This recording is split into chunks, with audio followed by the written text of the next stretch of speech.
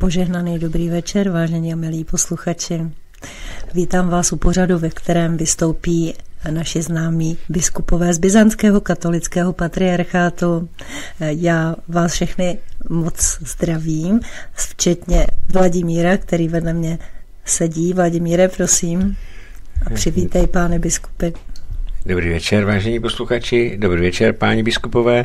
Jsem rád, že zase opět po měsíci si tady budeme povídat o dalším z desetera božího přikázání a to šestém. o šestém, které si myslím právě v dnešní době je velmi důležité a je to nesesmělníš nebo nebudeš, nepožádáš manželku blížního svého. Tak eh, víte, páni, na úvod – páni biskupové. Když jsem si četl Biblii, tak jsem si dvakrát nebo třikrát přečetl, přečetl vyprávění nebo o Sodomě a Gomoře. A přesně to, kvůli čemu tam Bůh seslal, seslal eh, oheň z nebes a síru, tak se dneska běžně, běžně děje. Já si pamatuju, že se tam psalo, že muž obcoval s mužem, žena s ženou, rodiče s dětmi, děti s rodiči. Dvakrát nebo třikrát je Bůh varoval a nakonec na, ta oba, na ty obě města, na Sodomu i Gomoru, seslal nebeský oheň a zničil je. A když si vemu dneska, co se děje, tak by ten západní svět, ten anglosaský svět musel být tím pánem Bohem zničen celý, protože máme tady zrůdnosti propagace LBG, LBGT plus, já nevím kolik, máme tady, máme tady 159 pohlaví, máme tady, eh, máme tady, eh, teď se dokonce, dokonce už jsem četl články o tom, že stejně tak, jako je nevyléčitelná homosexualita, tak je nevyléčitelná ani pedofilie, takže, páni biskupové, jak se díváte na, za prvé na boží trest a za druhé na ten současný svět? Tak požehnaný dobrý večer. Myslím, že abychom to posluchačům vysvětlili, tak od samé podstaty je třeba si uvědomit uh, uh, smysl života a také, jak nás Bůh stvořil. Z toho potom budeme vidět, proč, jak homosexualita, tak jiné ty uchylky, tak i jiné hříchy, o kterých třeba dnes mnoho lidí ani neví, že jsou zlem, budeme vidět, proč je to zlo, proč to ničí člověka, proč to ničí prostě e, společnost? A proto to také Bůh nazval hříchem. A tady, jak jste říkal velmi pěkně o tom LGBTQ, o pedofilii, o jiných těch zvrhlostech, které teďka se úplně nejenom skoro no, propagují, ano, ale ještě víc privilegují, tak to už je vrchol uh, takové té už skaženosti a takové spoury proti Bohu, vědomé spoury proti Bohu. A je velkou tragédií, že právě církev, která by měla být hlasem svědomí a ukazovat na to, co je dobro a co je zlo, co je pravda, co je lež, tak ona se stala teďka zásluhou toho antikrista Bergolia, se stala svůdcem světa prakticky. A to je strašná tragédie, že Vatikán se stal takovým svůdcem světa a propaguje tady tyto zločiny, za které přišla no, v té Bibli vidíme ten trest. A jak jste říkal o, o tom anglosaském světě, že by měl být zničen božím ohněm, tak právě to je jedna z příčin, čeho se obáváme, protože podle písma ten trest, pokud lidé nebudou dělat pokání, musí přijít jakou formou to bude válkou a jadernou válkou, jakým jiným způsobem,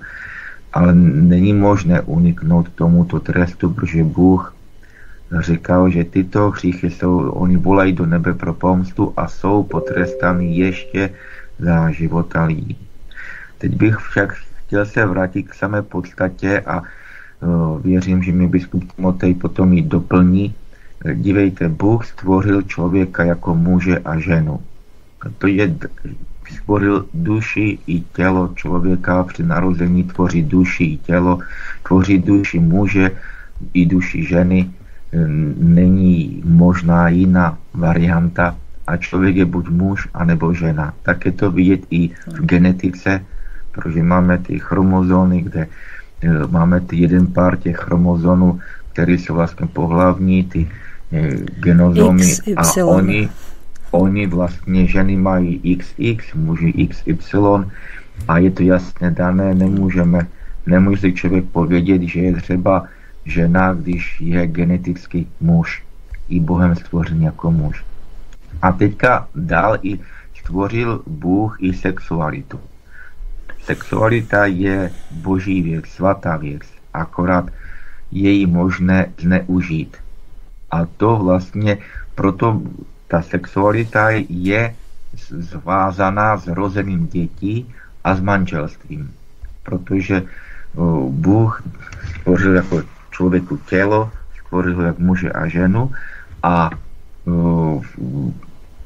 sexualita to znamená to, že pro muže je příjemná žena, pro ženu muž a že když jsou jedno tělo, tak se z toho rodí dítě znamená, že sexualita je stvořena k tomu, ke krození dětí. Nemožno oddělit, nemůžeme oddělovat uh, tuto příjemnost od rození. Tak to řekl Bůh v písmu, takové učení církve a tak to vychází i z normální prosté lidské logiky.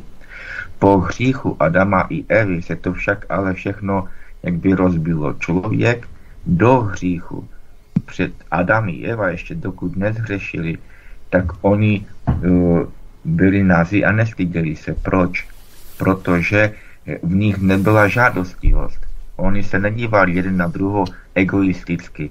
Oni prostě neměli ani jednou nečistou myšlenku. Po hříchu, když ďábel vlastně zvítězil nad člověkem a tak mi dal ho do své moci, udělal v ním disharmonii. Takže my třeba vidíme, že v nás je závist, konkurenčnost, nenávist, ale také i Eh, poža- ta žádostivost v oblasti sexuality anebo jídla. A eh, člověk uviděl, že může používat tuto sexualitu egoisticky, sobecky pro, by svůj, eh, pro sebe, nehledě na druhého, anebo na to třetí, na třetí osobu, to dítě, která se má z toho zrodit. Toto Bůh nazval hříchem. Proto z toho vyplývá jedna věc, že jakékoliv činnost, která tak a ještě k tomu, aby bylo zrozené dítě, je třeba manželství. Co je to manželství? Kdy muž i žena před Bohem slíbí jeden druhému, že se neopustí, že budou spolu, že budou vychovat, že budou vychovat děti, že se postarají, že mu se postará o ženu, o dítě, že budou spolu, aby dítě mělo otce i matku. Aby prostě nebyly ty, ty, ty traumata, ty, ty bolesti, děti, kteří vyrůstají třeba bez tatínka, nebo mají tři tatínky, nebo nevím, kolik maminek už ani takové. Takže to je, takže proto sexualita je jasně spojena s manželstvím a je možné ji používat jenom v manželství a k rození dětí. A nemůže se oddělovat od rození dětí. Jakékoliv prostě vědomé oddělení sexuality od rození dětí eh, je proti božímu plánu a je vlastně sobeckostí, egoismem. A to Bůh nazývá zlem, které v důsledku má potom i, i velké, velké jakby následky negativní. A nazývá to i hříchem. To těžkým hříchem, který nás odděluje od Boha. Takže my tu máme proto třeba do, do manželství, by Bůh chce, aby lidé dodržovali čistotu. To znamená, neměli jakby ten jakby spojení s e, spolu jako muž a děvča i chlapec, aby byli spolu jedno tělo do manželství. Toto si mají nechat až v manželství. E, podobně jakékoliv praktiky v manželství, které e, by ne, jsou takové, které způsobí třeba příjemnost, ale jsou, vylučují početí dítěte. Také Bůh říká, toto je proti mému plánu, mému stvoření a je to projev egoismu. Toto je hřích. Tím více můžeme mluvit o potom pornografii, masturbaci, můžeme mluvit o, o les, lesbiánství nebo homosexualitě. Toto všechno je vlastně proti božímu stvoření. Dále snad mě teď doplní biskup Timotej a třeba i ukáže, že vlastně Bůh po nás chce takovou statečnost, chce po nás, abychom se mu otevřeli, přijali jeho sílu a statečně bojovali s těmi žádostmi, protože oni fakt jsou, ten svět na nás tlačí a naším úkolem je milovat Ježíše Krista, protože cíl našeho života je život věčný s Bohem, je Bůh sám. A proto je třeba vlastně bojovat s těmi všemi věcmi, které nám chcou zničit život a které chcou nás oddělit od Boha skrze hřích. Teďka bych předal slovo biskupu Timotejovi. Tak um, jako to už vyjadril biskup Metodej, že boli sme stvorení Bohom a podľa Božieho poriadku. A tento Boží poriadok sa týka práve aj toho osobného, intimného života človeka že pokiaľ tento poriadok sa naruší, skutočne dochádza k, ku kataklizmám v životoch ľudí, jedincov, spoločnosti a vidíme to presne podľa toho, čo ste aj hneď na začiatku vy, pán Vladimír, spomenuli. Že mm, čo sa deje vôbec vo svete, kde človek nevykročí, všade sa presadzuje zvrátená, totalitná, genderová ideológia, presadzuje sa násilnými totalitnými metódami. Celý tento proces má svoj počiatok v 20. storočí a prakticky už hneď po prvej svetovej vojne dochádzalo k veľkým útokom a na, kde takým základným cieľom vlastne tých takých mocenských skupín svetových elít bolo rozbiť vlastne vplyv církvy na spoločnosť a vlastne jej schopnosť aj právo vyjadrovať sa v otázkach veci morálky, duchovných princípov. A toto hneď od začiatku po prvej svetovej vojne bolo permanentne, ako by som povedal, bombardované. Až takým spôsobom, že zasiahol vlastne až Pius XI to encyklikou Quas Primas a vlastne vydal encykliku, kde hovorí o Kristovi kráľovi, o tom Božom poriadku na zemi a o tom nevyhnutnom návrate ku Kristovi, pretože jedine v Kristovi človek môže zažiť mier a pokoj. Jedine v ňom môže nájsť poriadok veci, ktorý ho bude uchovávať pri živote. Pokiaľ človek vyjde poza medze tohto poriadku, tak ho to zlikviduje. No ale práve po prvej svetovej vojne bol hneď taký hlavný prúd, či to bol politický alebo aj iný, ako filozofický, bolo zlikvidovať akékoľvek normy v oblasti života. V Sovietskom zväze sa to hneď prejavilo tým, že mm, tam okamžite začali s voľnou, uvoľnenou morálkou a začali s niečím, um, čo sa nazývalo teória vlastne pohara vody. To znamená, že tzv. sexuálne chúťky a uh, vlastne intimné vzťahy mali byť k dispozícii presne tak, ako pohár vody, ktorého sa človek napije vtedy, keď je smedný. To začalo hneď po revolúcii, po ustanovení Sovietskeho zväzu jedno s druhým. Potom prirodzene prišli iné pomery v Sovietskom zväze, ale tam to už začalo. Začalo tam už e, zavádzanie konkrétnych vecí, uzákonenie na potratov. A to súviselo presne s, e, s uvoľnenou morálkou a s tým, že sa tam neakceptovali jednoducho normálne, prirodzené princípy v oblasti intimného života medzi mužom a ženou. Pretože pokiaľ je intimný život medzi mužom a ženou zasadený inde ako mimo manželstva, stvoruje, e, vytvára nespravodlivosť, spôsobuje skutočne, by som povedal, rujnovanie toho osobného života i muža, i ženy. A následkom potom prirodzene sú potraty, používanie antikoncepcie, potom prirodzene v dôsledku antikoncepcie môžu byť rôzne formy rakoviny, neplodnosť a tak ďalej.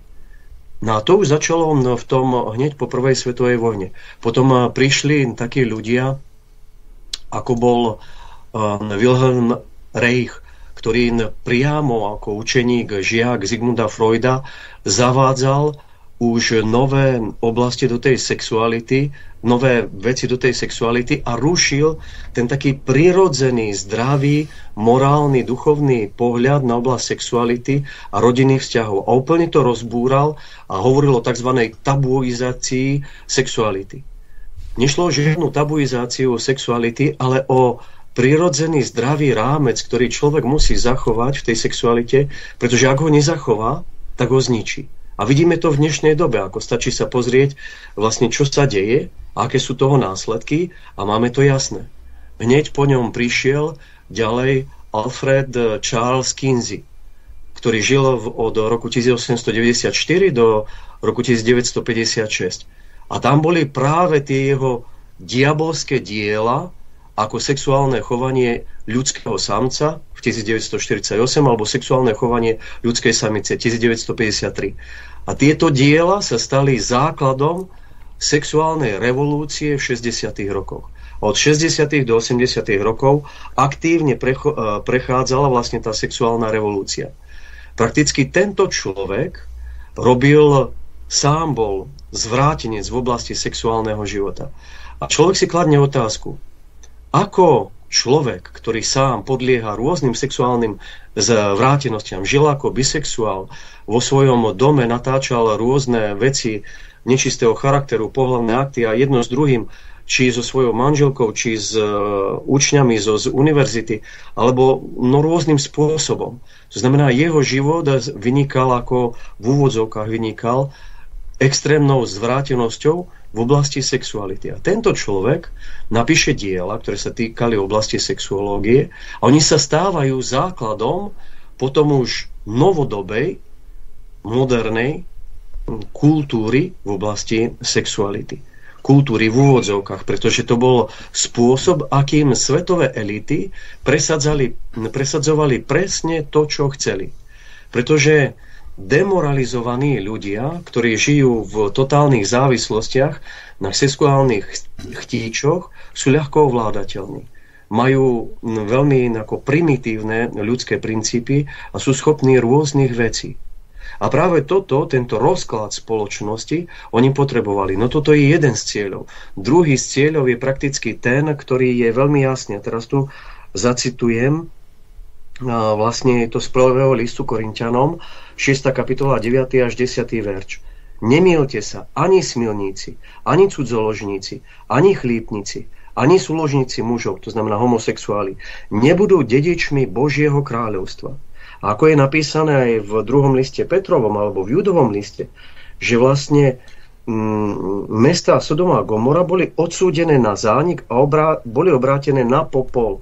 A toto sa stalo ako príklad, čo čaká bezbožných, to znamená tí, ktorí sa otvárajú nečistým žiadostiam. A tam je presne to, čo ste hovorili, pán Vladimír, potrestanie. Potrestanie sa prejaví na tých, predovšetkým na tých, ktorí sa ženú za nečistými žiadosťami tela a pohrdajú pánom. Skutočne tá oblasť, čist, e, by som povedal, sexuality, je to tá najcitlivejšia oblasť v ľudskom živote, ktorá musí byť vynimočným spôsobom chránená už od detstva. A svetové elity skrze práve tých ľudí, ktorí som spomenul, či to bol ten um, uh, Wilhelm Reich alebo um, Alfred Kinsey, um, presadzovali prakticky svoju ideológiu, ktorej cieľom bolo túto vnútornú intimitu, čistotu človeka, cudnosť, uh, vlastne nevinnosť, či už detskú alebo mládeže, úplne zlikvidovať aj zrujnovať. A urobiť ich doslova sexuálnych otrokov. To znamená, 20. storočie sa vyznačovalo s experimentovaním s ľudskou sexualitou v nenormálnych rozmeroch. Je známe, že práve Kinsey v tom svojom diele Sexuálne chovanie ľudského samstva vlastne uviedol mm, tabuľku s číslom 34, v ktorej zaznamenal, a teraz počúvate dobre, počet orgazmov a dobu trvania stimulácie chlapcov vo veku od 5 mesiacov do 14 rokov. To znamená, tento človek ako totálny sexuálny zvrátenec robil sexuálne pokusy na chlapčikov, ktorí mali 5 mesiacov. Ja sa pýtam, ako výsledky takéhoto zvrhlého a odsúdenia hodného bádania sa mohli stať základom istej tzv. sexuálnej kultúry, v úvodzovkách kultúry, v 20. storočí. No stali sa. Pretože boli za tým svetové elity, ktoré vlastne toto presadzovali. Bolo to už potom vlastne hneď už v tej prvej polovici presadzovanie či už potratov, antikoncepcia a neskôr po tých 50. rokov už ďalej zase presadzovanie pornografie. A to bolo neustále permanentné nabúravanie vlastne ľudskej nevinnosti, cudnosti a otváranie na zvrátenú sexualitu. Máme tu rok 73, keď vieme, že z toho zoznamu psychických porúch v Spojených štátoch amerických bola vylúčená homosexualita. Bolo to rozhodnutie politického charakteru, ktoré nemalo žiaden vedecký základ. A teraz ale prejdem ešte k jednému veľmi dôležitému človeku, v úvodzovkách dôležitému, ktorý stojí za všetkou touto genderovou zvrátenosťou. A je to doktor um, John Money, ktorý pracoval uh, na univerzite Johna Hopkinsa a práve tento človek vykonal pokus na jednom z dvojčat rodiny Reimerových. Rodina Reimerových žila v Kanade, vo Winnipegu a jeden z chlapcov po narodení, keďže mal istú by som povedal, deformáciu na pohľavnom úde, tak uh, podstúpil istú Mm, dá sa povedať, operáciu, ktorá sa nazývala obriezkou, ale pritom došlo k, no, k zničeniu celého pohľavného údu. A teraz odpúšte mi za detailnosť. Ale prečo o tom hovorím? Pretože títo rodičia teraz skúmali, čo môžu robiť. Boli to jednoduchí ľudia. To bola robotnícka rodina. A keď sledovali televízor, tak práve v televízii vystupoval tento John Money. Človek, ktorý pracoval na univerzite Johna Hopkinsa, pracoval v oblasti sexuológie a mm, tzv. transgenderových teórií. Práve tento človek vymyslel aj po, pojmy, ktoré sa týkajú um, ktoré sa týkajú práve tejto oblasti genderovej ideológie. Bol to on, kto za, navrhol prakticky tento uh, systém ponímania genderovej ideológie, kde hovoril o genderových uh, úlohách vlastne muža a ženy, kde jasne začal tvrdo odlišovať, to znamená našu ľudskú identitu, či už mužskú a ženskú, od tzv. rodovej úlohy alebo role alebo sociálneho konštruktu, ktorý my vyplňame v reálnom živote. A on začal prakticky tvrdiť, že muža spokojne je možné prerobiť na ženu. A on to chcel dokázať a sa mu ponúkol práve tento prípad tohto chlapca z rodiny Reimenerových, ktorý sa nazýval Bruce. A on presvedčil rodičov, aby urobili jednu vec. Aby podrobili dieťa celému reťazcu operácií, kde prakticky boli mu vyoperované. Prakticky on bol vykastrovaný, mu boli vyoperované mužské orgány a teraz mm, plasticky mu boli urobené ženské, primitívne forme a prešiel, prešiel, prešiel celou radou takýchto operácií a následne ho mali vychovávať ako dievča. Oni to robili. Oni ho obliekali ako dievča, dávali mu hráčky ako dievčaťu, obracali sa k nemu ako k dievčaťu. Všetkým dookola, rodinným príbuzným, všetkým povedali, musíte ho považovať za dievča. A teraz mm, John Money celú históriu tohto no, chlapca, Brusa, ktorý už bol ako dievča, prezentoval ako úspech a dôkaz toho, že neexistuje spojitosť medzi našou ľudskou identitou, mužskou a ženskou, a tým, ako sa predstavujeme a správame v spoločnosti. To znamená, že môžeme si vytvoriť, čo chceme. Aké boli následky? Toto bolo navonok to, čo on prezentoval. Prakticky ešte aj v roku 97 tvrdil to isté. On zomrel, tento John Money, v roku 2006. nebol nikdy trestne stíhaný, napriek tomu, že sa dopustil neuveriteľne ťažkého zločinu, pretože tento chlapec Bruce, ktorý potom, keď už zistil, že je chlapec, že toto je jeho pravá identita, tak e, vstúpil do manželstva. S manželkou si adoptovali tri deti, ktoré vychovávali, no svoj život ukončil samovraždou. Jeho starší brat, alebo jeho brat, neviem či starší, či mladší, vlastne zomrel na predávkovanie e, drogami. Toto bola tragická vlastne hm, história jednej rodiny Reimerových. A na tomto šialenom diabolskom pokuse prakticky bola vybudovaná genderová ideológia, ktorá už na svojom prvom príklade, tzv. vzorovom, stroskotala. A stroskotala, pretože to skončilo smrťou, samovraždou tohto muža, Davida, ktorý zanechal aj interviu, ktoré je možné nájsť um, na internete, David uh, Reimer. A jeho výpoveď je veľmi jasná. On bol zhrozený z toho, že jeho príklad bol uvádzaný ako úspešný prechod z mužskej z mužského pohľavia na tzv. ženskú identitu. On sám ukazoval, že nie. Ja som sa nikdy necítil ako žena. Hoci som bol od detstva vychovávaný, ja som nemal skade mať informáciu, že som muž. No tam sa to prejavovalo aj na bežných spôsoboch. Keď išiel na malú potrebu, tak vždycky chcel stáť. Keď e, sa rozprával, rozprával sa ako chlapec. Keď konal, tak konal ako chlapec. Dokonca ho volali uh, dievča z jaskyne, pretože tak sa správal do istej miery v istých okamihoch hrub, hrubšie, ako sa správajú muži. A my sme svedkami, že toto sa stalo v 20. storočí.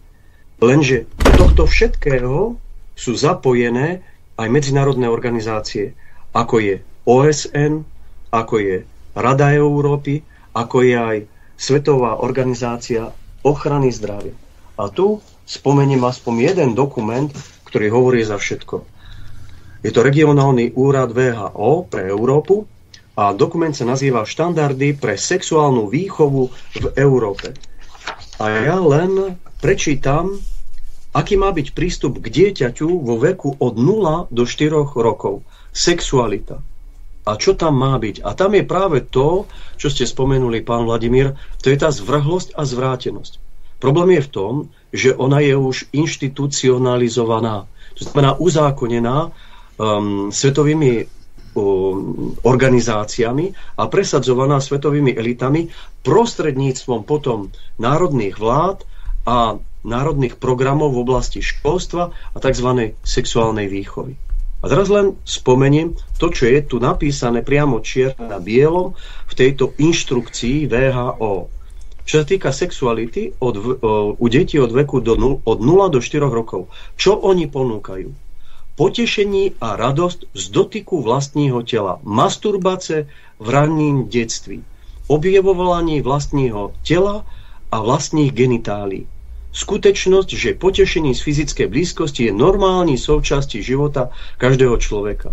Neha a fyzická blízkosť ako výraz lásky a citu. Rôzne typy lásky. A tu je aj spoznávanie svojej identity. Už priamo tu je zamontované prakticky do tohto do, dokumentu, že rodičia majú podporovať skúmanie vlastnej rodovej identity dieťaťa. To znamená, tu došlo k, doslova k prevratu a rozbúraniu najzákladnejších princípov, ktoré sa týkajú priamo identity človeka. A to už mužskej alebo ženskej. Ako už bolo povedané, že Vlastne aj každá bunka v tele muža je mužská a každá bunka v tele ženy je ženská. A výsledky neurofyziologického výskumu ukazujú, že muži a ženy sa od prírody líšia. Dokonca to mm, svedčí o tom aj prieskum mozgu, e, mozgu, mozgových buniek, spôsobu správania, mm, psychiky mužskej, ženskej. Všetko mm, svedčí o tom, že tu máme nemenú mužskú a ženskú identitu. A teraz medzi nimi existuje prirodzený vzťah, ktorý zasahuje oblasť sexuality a táto musí byť v zdravom rámci. Pretože keď nie je, tak dochádza k neuveriteľným tragédiám. To máte, pane biskupe, naprostou pravdu. Já jsem něco o tom taky přečetl, ale já bych se rád teďka vrátil k tomu původnímu tématu, tedy k tomu šestému božímu přikázání. Co říkáte na to, to jsem zažil na vlastní kůži za mladá, když já nevím, bylo 15, 16, 17 let, tak eh, tam jsme měli, eh, ten, co jsem bydlel, tak tam byla jedna dáma, která byla věřící, chodila každý den do kostela, nebo každou neděli do kostela na kázání na mši svatou.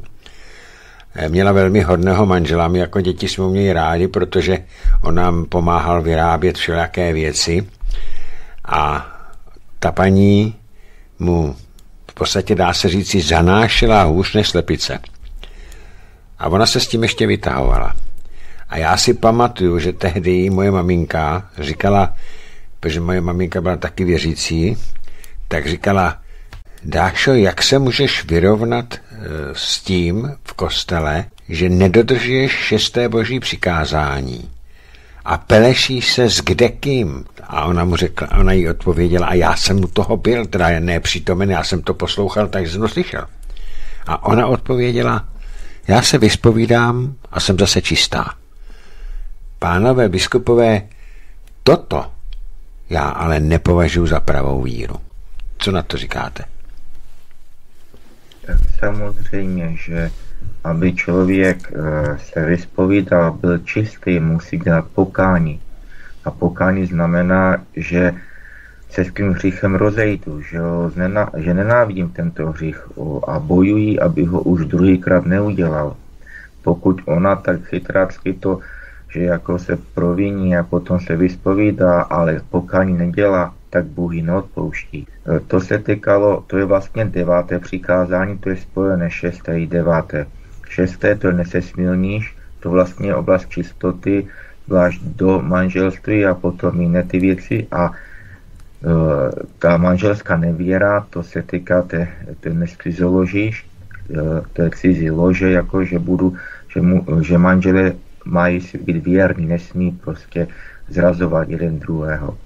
No a e, to je, rozumíte, tam je ještě takový pro, hluboký problém, o kterém neví lidé, že, že ta, tyto hříchy proti šestému nebo devátému přikázání, oni jsou spojené s demonickými silami a oni se stávají, když člověk jim otročí, tak se stávají tak jak drogou že se tak, jak člověk je třeba spoutan alkoholem, alkoholik třeba se chce z toho dostat, ale už nemůže, anebo narkoman. Podobně i tady toto. A toto vlastně viděli, to ví i ďábel, i ti světové elity. Oni ví, že je třeba už od dětství, od třeba těch malých dětí nebo v pubertě, prostě zotročit člověka těmito žádostmi a oni se stanou otroky tohoto hříchu, této které ne, že to hřích, ale že to ničí jejich prostě eh, jich samých ostatní okolí. A eh, i ta paní samozřejmě to není jednoduché. Pokud ona takovým věcem se otevřela, tak tam jediná možnost byla takové opravdu upřímné, tvrdé pokání. Musí si člověk modlit, najít vztah Bohu, prosit aby ten démon odešel od toho člověka, aby ta žádost byla zničena. Takže tak no, biskup Timotej mě doplní. Prirodzene tak, ako už bolo povedané, ako tej páni nebolo odpustené a ona žila v neuveriteľnom sebaklame tým, že pôjde tzv. k spovedi a že tam to povie a potom si bude hlajdá duša v úvodzovkách robiť, čo chce do akej miery táto oblasť čistoty je dôležitá. Povedala aj Ježiš, a to môžeme čítať práve v Evangeliu Matúša v 5. kapitole od 27. verša, kde Ježiš ide až do hĺbky, do akej miery človek si má uchovávať čistotu práve v tejto oblasti sexuality. Počuli ste, že bolo povedané, nescudzoložíš, No ja vám hovorím, každý, kto na ženu hľadí žiadostivo, už s ňou scudzoložil vo svojom srdci. Tu sa má na mysli, že keby sa mu naskytla prírodzen, uh, príležitosť, tak on by s ňou spokojne zhrešil. To znamená, to nie je len nejaký moment pokúšenia, že náhle, ako že to ním prebleslo, alebo jedno s druhým, ale tu ide skutočne o taký ten vnútorný, žiadostivý princíp, kde človek sa slobodne, dobrovoľne a vedome zjednocuje vlastne s riechom, že ho chce, že po ňom túži. A tu Ježiš práve odhaľuje. Každý, kto na ženu hľadí žiadostivo, už ňou cudzoložil vo svojom srdci. Ak ťa zvádza na hriech tvoje pravé oko, vylúb ho a odhoď ho od seba. Lebo je pre teba lepšie, ak zahynie jeden z tvojich údov, ako keby sa malo celé tvoje telo dostať do pekla. A ak ťa zvádza na hriech tvoja pravá ruka, otní ju a odhoď od seba, lebo je pre teba lepšie, ak zahynie jeden z tvojich údov, ako keby malo ísť celé tvoje telo do pekla. Prirodzene, ako nikto si neotínal ruky a nevylúpil oči, ale Ježiš tu ukázal jednu podstatnú vec, že do akej miery treba byť radikálny v tom boji za čistotu aj myslenia. Pretože všetko každý jeden skútok, spôsob myslenia, ktorý protirečí cudnosti, ktorý protirečí tej manželskej zmluve, to znamená manželskej vernosti, mm, akékoľvek formy žiadostivosti, dráždenia, mm, by som povedal, či je to už masturbácia alebo čokoľvek iné. To všetko protirečí čistote človeka. A poškorňuje človeka, keď človek upadne do týchto, zvrát, no, do týchto závislostí. Alebo zvrátenosti, keď sa týka homosexuality a iných vecí. Hm, Ježiš doslova skrze aj Apoštola upozorňuje, že ešte ste nebojovali uh, s hriechom až do krvi. V tom zmysle, že ten boj má byť uh, skutočne radikálny v človeku. Práve preto už rodičia od útleho detstva majú chrániť deti, aby neprichádzali do styku s nečistotou, aby neprichádzali do styku s pornografiou, s nečistými filmami, s nečistými časopismi, hudbou, ktorá propaguje ako nečisté zvrátené veci, alebo s ľuďmi, ktorí ako žijú takýmto spôsobom. Prirodzene v dnešnej dobe je to už takmer nemožné. Poviem príklad. Išiel som po stanici vlakovej stanici. A tam bol plagát, kde jednoducho, tam boli obnažení muži, kde mm, jednoducho s prepáčením ohambie mali úplne vyvalené a či malé dieťa, či, či e, dievčatko, či dospievajúca žena, či dospelá žena, to mohli vidieť. A ja sa pýtam, ale mm, kde, kde už je jednoducho tá miera, kde táto spoločnosť pochopí, že toto sú už veci nepriateľné. Alebo na námestí v urobili živú výstavu. Chlapi úplne, ale úplne nahý tam predvádzali sa a jednoducho tvorili nejakú tzv. choreografiu. To boli už starší mužovia, alebo stredného veku. Ja sa pýtam, ako jednak, že čo mali v tých hlavách, zrejme tam mozgy akože boli neprítomné, no ja sa pýtam, ale vôbec ako to mohli dovoliť aj z mestského úradu. Pretože tam chodili deti, mládež. Ako vôbec už cit pre cudnosť, pre základné veci sa vytratil. A my vnímame, že toto sa deje. Ale Božie slovo hovorí veľmi jasné, že kto podlieha tomuto nečistému spôsobu života, on kráľovstvo Božie nezdedí. A teraz na všetkých tých ľuďoch, ktorí žijú týmto nečistým spôsobom, buď že ich do toho priviedli, alebo sami do toho upadli, alebo ich niekto zviedol na nich vidíme, aké sú ťažké následky, tragické v ich osobnom živote. Ja sa pýtam, dnes, keď máme sexuálnu výchovu v školách a keď už dievčatkám 10-12 rokov ukazujú, ako sa používajú kondomy, ako to majú robiť v posteli, s prepačením za výrazie a otvorenosť, ale no, k takým veciam ich vedú. Ja sa pýtam, tieto dievčatka keď to potom začnú v útlom veku robiť a prejdú posteľami neviem koľkých chlapcov, ja sa pýtam, ako takéto dievčatka, ktoré vyrastú v dospelé ženy, budú schopné vstúpiť do manželstva a byť verné svojmu mužovi a schopné rodiť deti a vychovávať ich. To nesie tragické následky duchovného charakteru, pretože na nich potom spočíva nečistý démon, a potom tento nečistý démon sa prejavuje aj v narodených deťoch. V tom, v tej podobe, že tieto deti už v útlom veku môžu mať neuveriteľne veľké problémy s oblasťou čistoty a sexuality.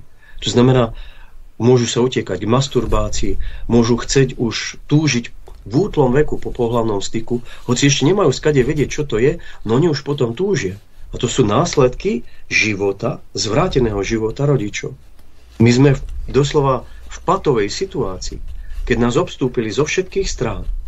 Neuveriteľne veľké množstvo mladých ľudí vysí na smartfónoch. Chlapci prepadajú prezeraniu pornografie.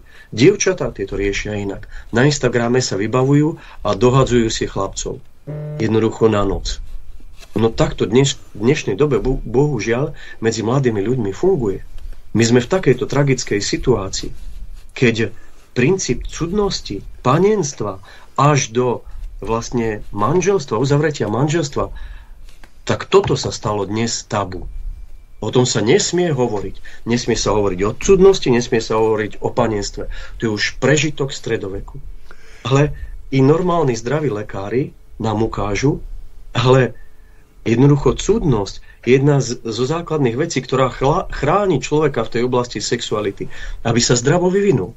Panenstvo chráni to dievča, aby mohlo zdravé a jednoducho verné tomu svojmu budúcemu manželovi vstúpiť do toho manželstva a jednoducho privádzať na svet nové pokolenia. Dávať novým pokoleniam zdravé hodnoty. Pane biskupe, ono to všechno, tohle, to, co jste teď povídal, to je naprostá pravda. Ale ono to je plánované a, a plánovité, protože vemte si, nikdy za našeho mládí nebylo tolik lidí, kteří žili single.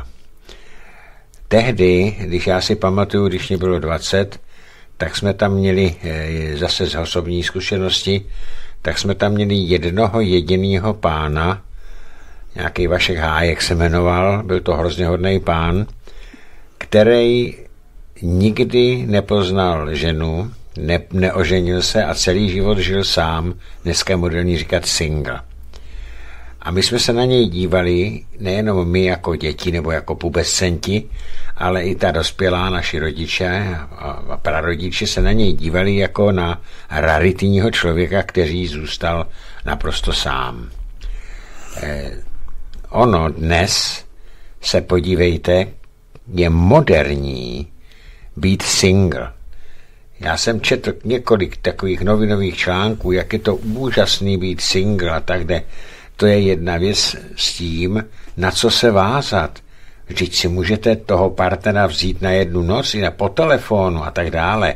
A to je přesně, podle mého názoru, je to proto, aby čím dál tím víc mladých lidí žilo podle toho latinského úsloví carpe diem, užij si dne, užij si, co můžeš, a ne bez následku a na nic se nestarej. Je to záměrně šířené mezi mladými, aby se nerodili moc děti, aby se děti nevdávali, aby se lidé nevdávali ženy, muži neženili, aby ty rodiny byly zničeny, zkrátka, aby ubylo lidí na světě. A podívejte se, kolik jsem četl příběhu nebo případů, jak tam na těch diskuzích mladé ženy říkají, já nechci mít děti. Já nechci mít děti, protože nechci znečišťovat planetu dalším člověkem, který vyrábí CO2. Muži dneska, my, když byl chlap do 30 u rodičů, tak jsme se mu posmívali. Dneska, dneska jim to vyhovuje, jsou tam do 40, 45 let. Je to všechno plánované a plánovitě prosazované jenom proto, aby se zničila základní jednotka tohoto světa. A to je rodina. Z takového důvodu to všechno dělají.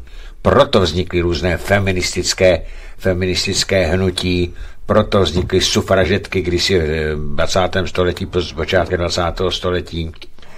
Proto dneska se je moderní že i normální ženy, které jsou v dané 20 let, najednou zjistí, že jsou lesby a žijí s ženou. Operačně to je taky, to platí, vidíme to i u mediálně známých lidí. Stalo se to totiž módou.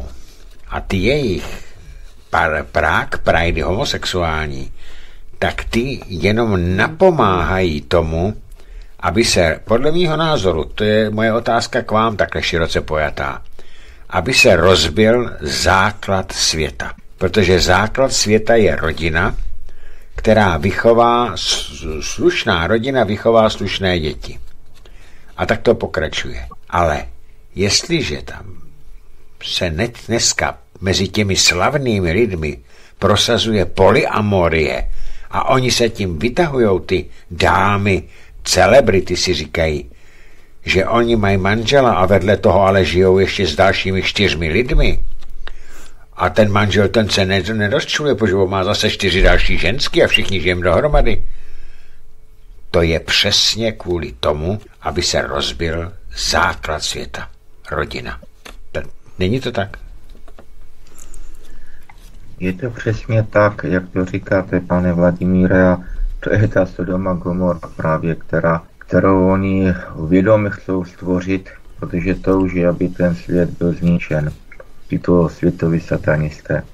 Jednak ale i tyto hříchy, eh, nečistoty i zvrácenosti, oni jsou ale také úzce spojeny s, tou, s tím prvním přikázáním, s okultismem. Totiž Písmo jasně říká, to je v listě k Římanům, první kapitola, 18. verš i dále potom, že tyto zvrácenosti jsou důsledkem odpadu od Boha. Protože lidé nectili Boha, nesloužili mu, Bůh dopustil, že je vydal ty, ty ohavné žádosti a muž s mužem, žena s ženou, píše písmo.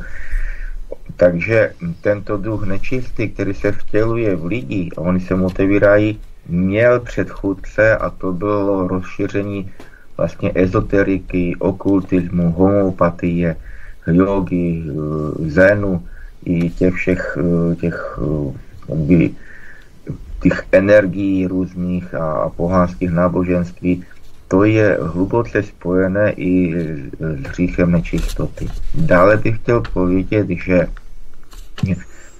oni ví, že tato věc, to narušení toho řádu v oblasti sexuality, ono hluboko zasahuje lidskou duši. Vemte si, e, nikdo nebude pro, jako se protivit tomu, když řekneme, že alkohol, alkoholik, že není jenom, že je opitý a že je troska a otrok, ale že má zničené zdraví. Narkoman nejen zdraví, ale i psychiku. A sexualita není oni to dali do oblasti tak, jako kdybych jedl nebo nejedl, ale sexualita je hluboko proniknutá v, v, lidské, v lidskou duši, bytost až ducha. A to není, e, proto Bůh říká, že to je hřích, to je zlo, protože používat tuto sexualitu sobecky proti božímu plánu, proti člověku, egoisticky pro svou příjemnost, a to jsou různé ty věci, o které jsme už mluvili, ty detaily nechci ani vyslovovat raději, tak to narušuje lidskou, lidskou psychiku. Ti lidé jsou potom morální trosky, už od dětství. Oni, když takový chlapec otevřete pornografii, hříchy s vlastním tělem, tak se nazývá třeba ve spovědi, když místo masturbace se říká hřích s vlastním tělem tak když se tomuto otevře, stane se otrokem, on má opravdu narušenou duši, psychiku, ten člověk není schopen potom být, nést kříž, ne, nést prostě, nést těžké situace, on je prostě, on je taková i vnitřní troska, on není, ale tyto lidé potom budou na, no, vést stát jednou, budou jednou prostě zodpovídat za, no, za, za dění ve světě. A oni jsou absolutně prostě Eh, otroky sebelásky tady těchto věcí a oni jsou nevyrovnaní. Oni jsou prostě, to jsou vlastně lidské trosky. A o to jim šlo, jak to přesně říkáte, pane Vladimire, nejen o rozbití té nejzákladnější jednotky, kterou je rodina, eh, prostě ve státě, ve světě a která vlastně produkuje další eh, členy lidi, kteří mají být zdraví, normální, dobře vychováni ale zároveň jde o to, aby tyto, aby lidé, když se otevřou těmto nečistým žádostem aby vlastně se stali troskami a morálními, kteří prostě jsou prakticky zločinci.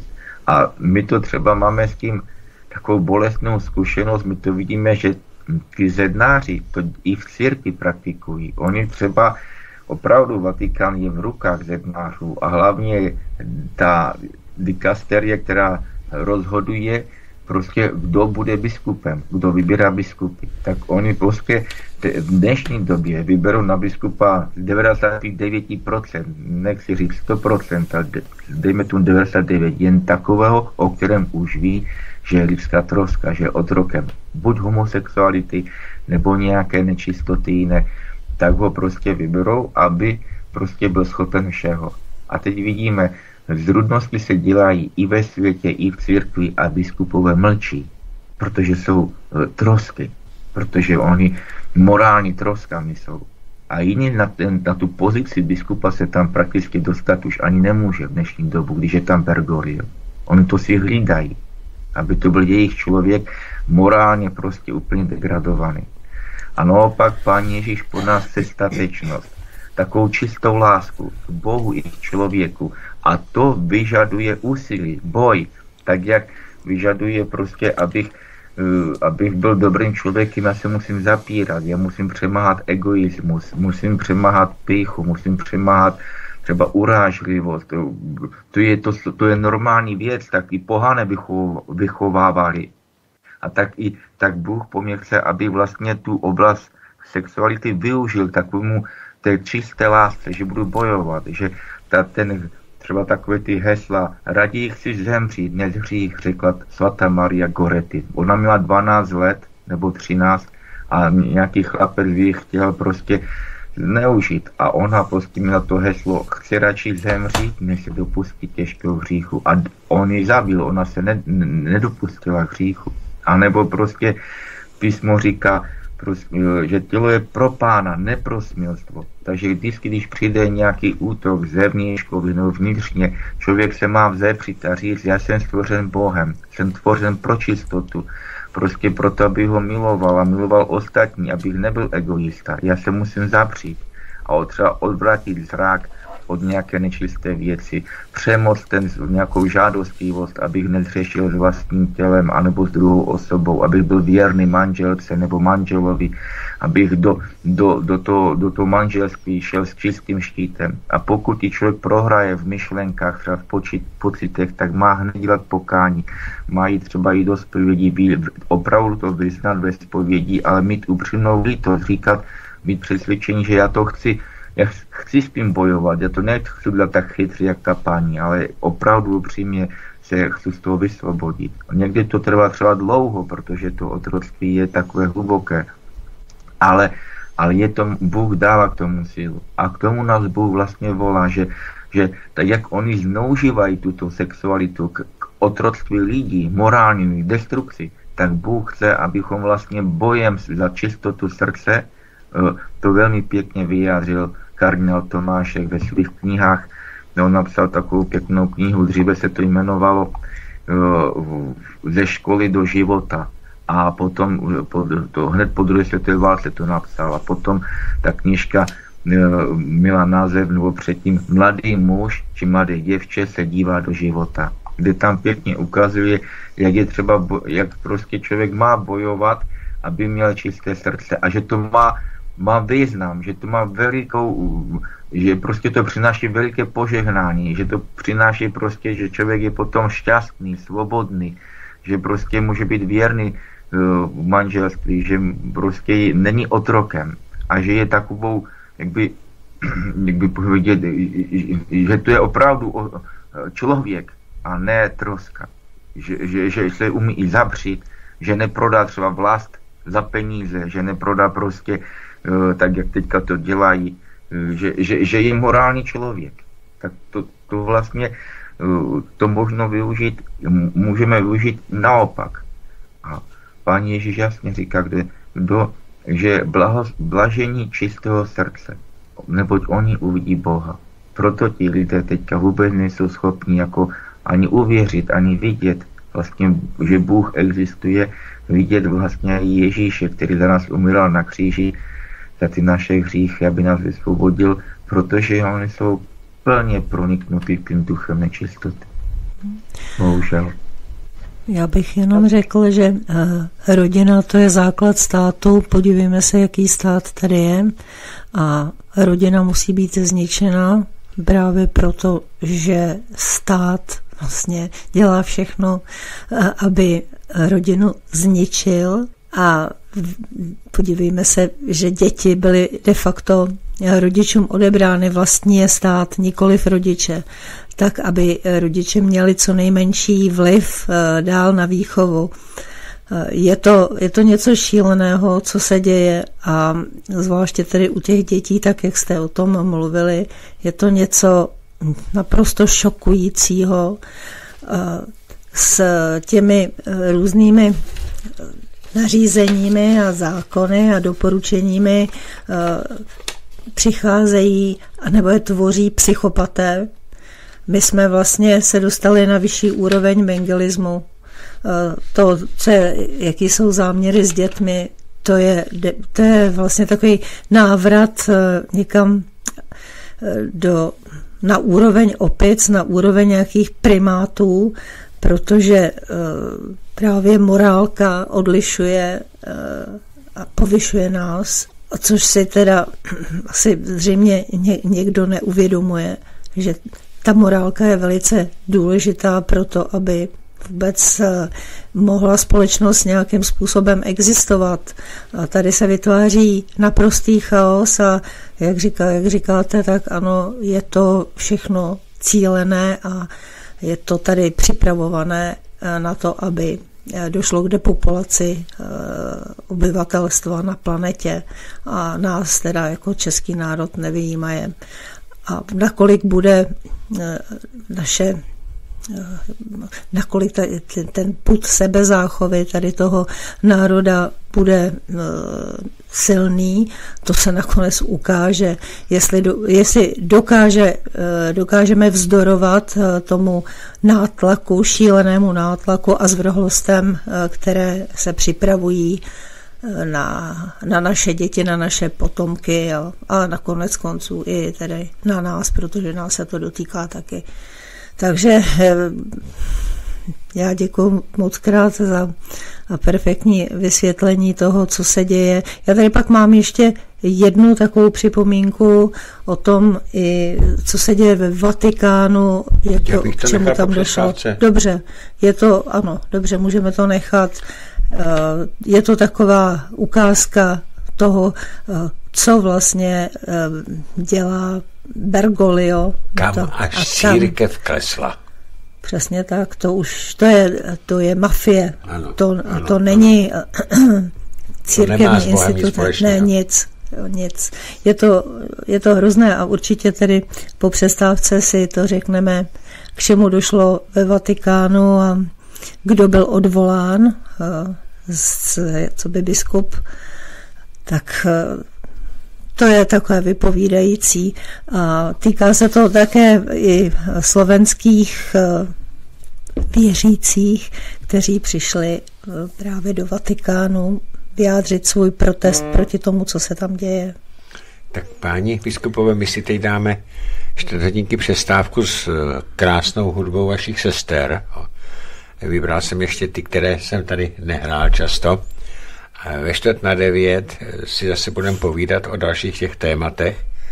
A vy, vážení posluchači, eh, můžete psát na pány biskupy dotazy SMS-kami už teď na telefon 731 720 756 do studia Beta a potom i až dopovídáme, tak eh, můžete volat přímo do vysílání.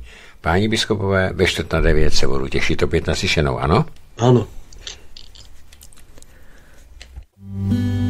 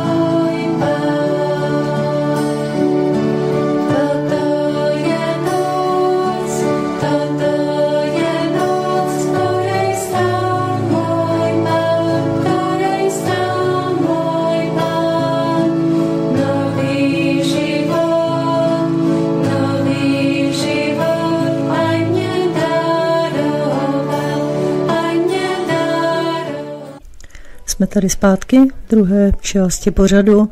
Já volám pány biskupy a ptám se, zda nás slyší. Ano, počujeme se. Tak to je výborné. Ještě jednou dobrý večer, pánové. Požehnaný dobrý večer. Požehnaný dobrý večer.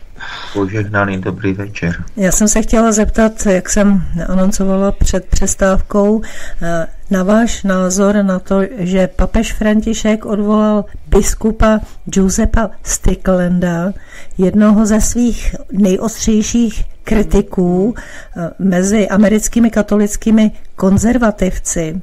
A oznámil to 11. listopadu 23 eh, Vatikán. Je to velmi řídký případ, eh, kdy byl římskokatolický biskup úplně zbaven eh, svých povinností. Obyčejně jsou biskupové, kteří mají problémy s Vatikánem, požádání o odstoupení ještě před podáním demise, kterou papež přijme. Eh, Stickland byl velký kritik papeže a to, co se stalo, tak je skutečně eh, jako nezvyklé. Já jsem se chtěla zeptat, co o tom víte a jestli byste mohli zmínit i třeba tu přítomnost ve Vatikánu potom slovenských občanů, katolických věřících, kteří přišli demonstrovat vlastně svoji, pod, svoji podporu Stricklandovi. Tak um, tu je zjavne vidieť, aká je celá mentalita uh, Bergolia, neplatného pápeža. To znamená, Rím je bez svojho pápeža, on je prakticky uzurpátor pápežské moci a jeho cieľom je zlikvidovať katolícku církev a zničiť úrad pápeže. Na jedným zo spôsobov je odstrániť tých biskupov, ktorí by akýmkoľvek spôsobom ešte odporovali vlastne tejto ničivej činnosti Bergolia. A ním bol práve už spomenutý biskup americký z Texasu Joseph Strickland, ktorý skutočne hájil pravdy katolickej viery a už v auguste tohto roku napísal pastierský list, ktorom upozorňoval, že synoda o synodalite, ktorá sa odohrala v októbri prakticky, upozorňoval na ňu, že e, bude to pokus o zmenu kresťanskej a katolíckej viery, bude to pokus e, o zlikvidovanie základných istých duchovných a morálnych princípov, čo sa následne aj stalo. On tam mal najprv takú apoštolskú vizitáciu, takzvanú, kde mu navrhli, aby on odstúpil zo svojho úradu. On to v žiadnom prípade nechcel prijať a tak ho vlastne toho 11. listopadu Bergoglio násilne odvolal. Bola to, bol to veľmi silný zásah. Čo je ale smutné je to, že on toto odvolanie prijal, pretože tak ako Vigano in kardinál Müller, bývalý prefekt kongregácie pre náuku viery, ho podporovali a odporúčali mu, aby neodstupoval z tohto úradu. Obzvlášť Carlo Maria Vigano ho vyzýval k tomu, aby zotrval v úrade a neutekal z bitevného poľa. Žiaľ, ono sa tak nestalo a je to doslova do, do písmena na jednej strane tragický prípad, no i odpudzujúci a odstrašujúci v tom, že nie je možné sa podriadzovať prakticky uzurpátorovi, ktorý je mnohonásobný heretik a odpadlík, ktorým je Jorge Bergoglio. Nie je žiadnym pápežom, ani ním nebol, pretože bola Pavla IV.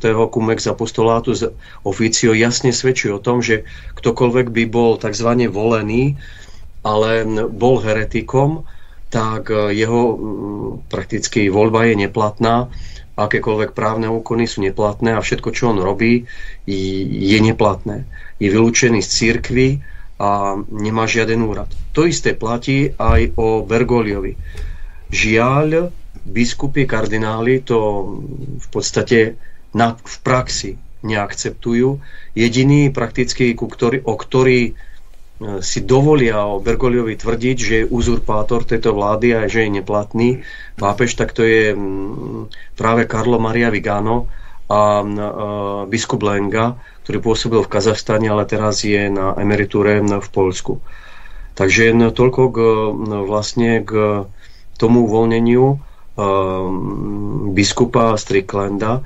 No on nie je jediný prípad. Boli ďalšie dva prípady, sa už eh, chystajú na dvoch ďalších biskupov v Afrike a na jedného biskupa vo Francúzsku, kde sa našiel na Francúzsku napriek tomu také, aké je, sa tam našiel jeden biskup, ktorý je tiež konzervatívny a mm, by sa dalo povedať, že je zástancom mm, práv katolickej viery, tak e, tam to urobili inak. Poučili sa už zo Stricklanda, jeho neodvolávajú, ale dali mu pomocného biskupa, ktorý má väčšie právomoci ako on. Prakticky tomu biskupovi napriek jeho veku, ktorý ešte ďalej môže spokojne slúžiť, mu zviazali ruky, nechali ho v úrade, aby nebola vzbura v diecéze, ale v podstate mu znemožnili úradovanie a ďalšie pôsobenie.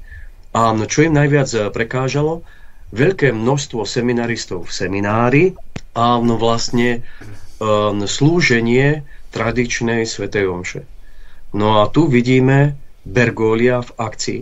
Na jednej strane na synode o synodalite on hovoril o tzv. tzv. otvorenosti, potrebe vypočuť, zdieľať, inkluzivite. A tu jednoducho neexistuje žiadne vypočutie, žiadna e, inkluzivita, žiadne pochopenie jednoducho vymietli uh, dlášku jednoducho aj s Josephom Stricklandom. To isté chcú robiť s dvomi biskupmi v Afrike a čo robia vlastne s tým biskupom v, um, s biskupom v, vo Francúzsku. No a k tomu, čo ste spomenuli, tak skutočne došlo k škandálu na námestí svätého Petra v Ríme, kde talianská polícia zadržala dvoch redaktorov portálu Christianitas za podporu Stricklanda.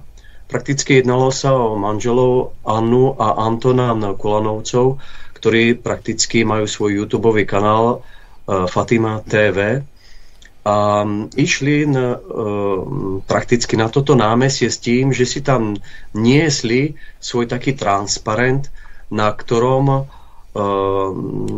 prejavovali jasnú podporu um, biskupovi Stricklandovi. A bol tam nápis Slovensko stojí za biskupom Stricklandom. A bol tam vlastne ešte aj slovenský znak. To znamená, nebolo tam nič, čo by mohlo niekoho tzv. urážať. Ani zmienka po vypočutí, po prijatí. Keď e, vlastne ich strietla táto policajná hliadka, pretože polícia talianská spravuje námestie, Svetopeterské námestie, aj celú tú Bernínyho kolonádu, takže dostať sa na to námestie môžete jedine cez kordón vlastne policajný talianskej policie a najprv ich vôbec nič nezaujímalo a skutočne ich púšťali. Až prvom, keď sa spýtali, že čo je na tom e, plagáte, oni povedali, čo tam je, tak volali do Vatikánu a z Vatikánu povedali jasne nie stop. Aká bola reakcia? 5 mužov, vlastne policajtov, násilne chceli vobchať túto pani Annu Kulanovú e, prakticky do policajného vozu. Ona sa prirodzene bránila, pretože ukazovala im, že je portérka. Oni bez akéhokoľvek obvinenia, bez akéhokoľvek vysvetlenia, bez čohokoľvek začali ju násilne pchať do auta, na čo bola prirodzená reakcia. Všetko zaznamenávali prakticky na kameru jedno s druhým. Potom ich násilne odviedli obidvoch manželov na policajnú stanicu, kde ich tvrdo vypočúvali, sa tam striedali na tých, ktorí ich vypočúvali, vyhrážali sa im do istej miery, dávali im podpísať e, protokol, kde boli zjavné klamstvá. No ešte predtým, ako sa im podarilo teda s policajnou posilou, tam bolo 10 chlapov, aby zasunuli jednoduchú ženu, žurnalistku a k tomu kresťanku e, do policajného auta. Tak zavolali ešte záchrannú službu a keď prišli, prakticky prišla záchranka, tak sa pýtali, že čo je vo veci. No a oni chceli to veľmi silne vlastne naladiť na tú tému, že tá žena má psychické záchvaty alebo jedno s druhým. To znamená totálna likvidácia človeka, akože po tej morálnej stránke, duchovnej stránke. Skončilo to tak, že ich potom vyhnali z policajnej stanice, ako títo dvaja statoční reportéry um, nepodpísali ten protokol prepustili ich a oni následne odišli. No je z toho prirodzene škandál, budú sa snažiť obnovovať to, čo vymázali, pretože oni im zabavili materiál. To znamená, ten banner im ani nevlátili, akože ten e, plagát, s ktorým tam boli. Potom im vlastne vymazali všetok materiál, ktorý si zaznamenali, ale mm, dali to špecialistom a veria, že sa to obnovia a budú zverejňovať vlastne zásah talianskej polície zrejme na príkaz niekoho, kto sedí utajený vo Vatikáne a dal jasné inštrukcie, ako majú postupovať s ľuďmi, ktorí vyjadrujú podporu odvolanému biskupovi Stricklandovi. Tak len hm, toľko... Takhle vypadá dialog. No, presne. Dialog Bergolia v praxi. Já bych ještě doplnil, aby posluchači věděli, o co se jedná hlouběji že vlastně proč ten eh, biskup Strickland eh, tak se postavil proti Bergoliovi, protože na té synodě v Římě, která teďka proběhla, eh, skončila vlastně před necelým měsícem, tak jak, tvr, jak očitý svědek kardinál Miller tvrdí, tak měli tři, jenom tři věci. Tam za úkol prosadit i prosadili a papež, ta falešný vlastně ten antikrist papež, tak eh, prosadili tyto věci. Eh, schválení LGBTQ, schválení homosexuality církví. Druhé, eh, schválení žehnání takzvaných homosexuálních párů. A třetí, svěcení žen na knize. To jsou prostě, to je úplně destrukce plně to jde přímo proti Bohu, říká kardinál Miller, to je duch Antikrista, to prostě je, to je úplně destrukce církve i také vůbec člo, člověka jak takového. Kromě, no, a to třetí vlastně, to svěcení žen, to také je úplně likvidace kněžství. To už je ale na jiné téma, proč žena knězem být nemůže. Tak a protože tady máme dotazy, tak já předávám telefon Soně, aby se podívala na první z nich. Mm-hmm. Takže já to přečtu, je to tohle ten poslední. Ano, ano, ano, je to je ona. Zdravím vás všechny. Stačí se podívat na porno stránky, kde je otázka, jestli je ti už 18 let, takže kliknout na ano, může i pětileté dítě, tohle není problém internetu, to by se dalo ošetřit. Tohle musí být někým plánované ke zničení morálky, víry a rozbití společnosti. Pěkný večer, Pepa z Ostravy. Děkujeme za SMS-ku. Tak co na to říkáte? Je to presne tak, ako bolo povedané, ako je to plánované, ako mm, ročné príjmy z pornografie sa počítajú v miliardách dolárov. A mm, sú zamerané prirodzene na deštrukciu už aj malých detí. Bohužiaľ, mm, poviem, odpuste mi za výraz, nerozumní rodičia, čo pchajú do rúk malých detí smartfóny pretože tie sa s nimi naučia narábať neuveriteľne rýchlo.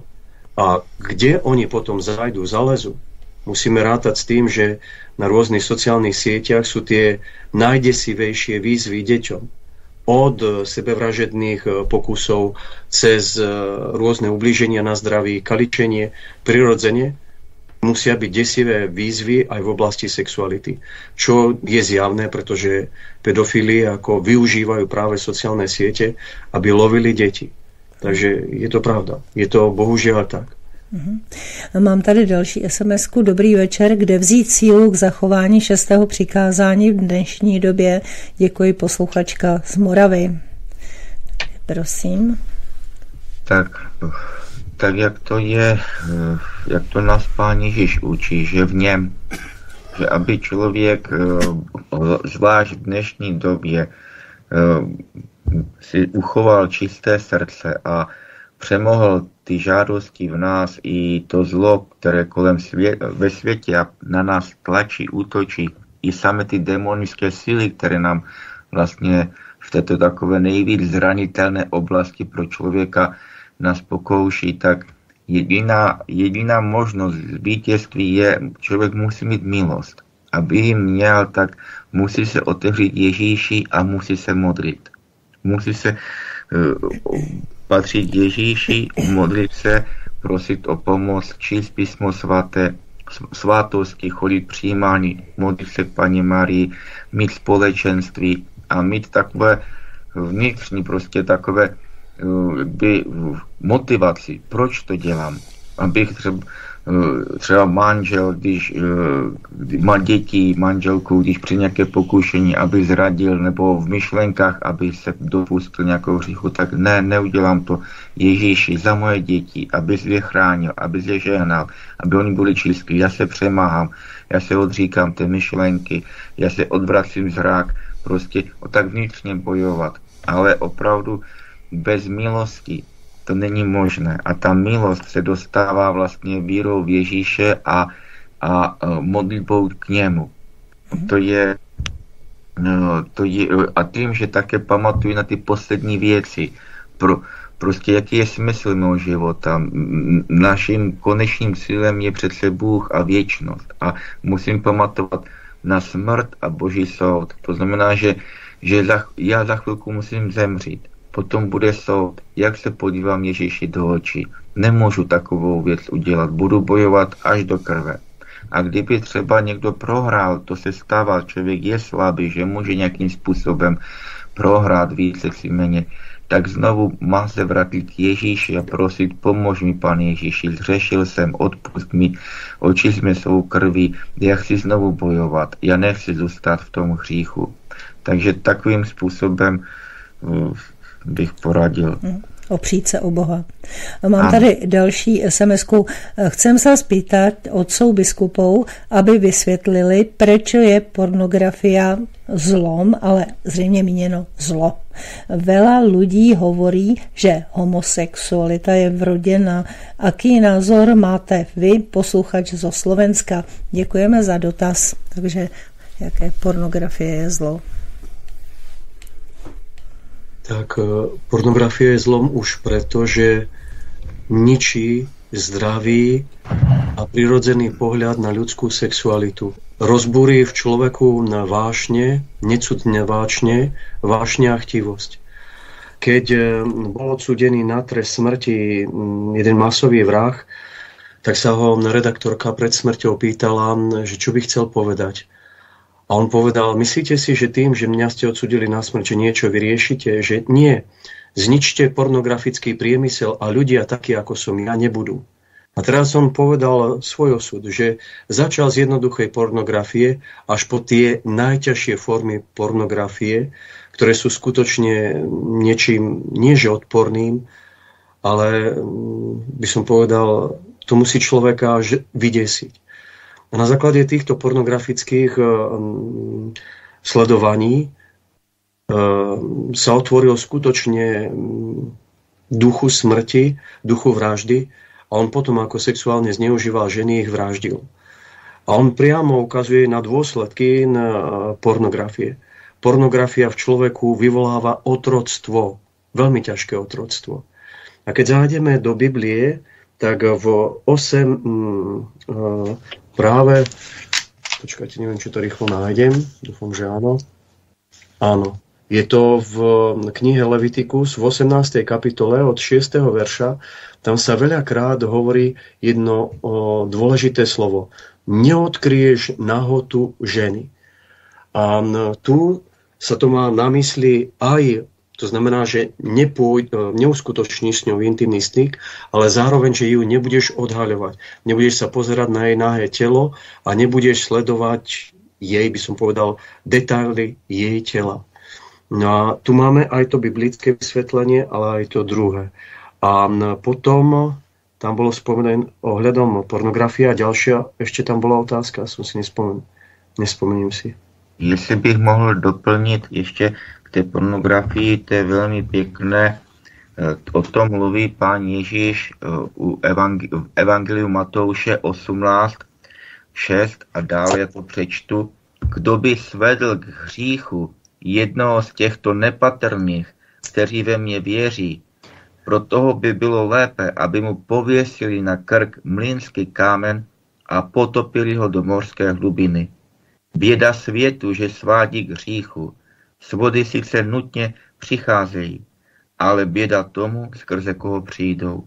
A ty vlastně, i ty producentky, i ty herci nemorální, oni si neuvědomí, kolik životů zničili, kolik mladých lidí zlikvidovali morálně, kolik prostě neštěstí, kolik rozvodů, kolik potratů, prostě ona si myslí, jaká je veliká, úžasná, a aj mass media aj teďka chválí celebrity ne, v, tě, v tom pornoprůmyslu a ona je prostě zločinec, který eh, kvůli ní, anebo kvůli ním, těmto lidem, kteří to dělají, jsou tisíce, tisíce prostě zničených životů, především mládeže. To je, to je tak srdcervoucí a tak je to bolestné a ty děti se prakticky ta mládež neumí bránit, protože oni jsou zvědavé. Rodiče jim neřeknou, že je to zlé a v telefonu to hned najdou. A když jim ani stát nepoví, ani rodiče, a tam to mají, oni se otevřou a ustanou se jak otroky, jak, jak pod drogami. Mm-hmm.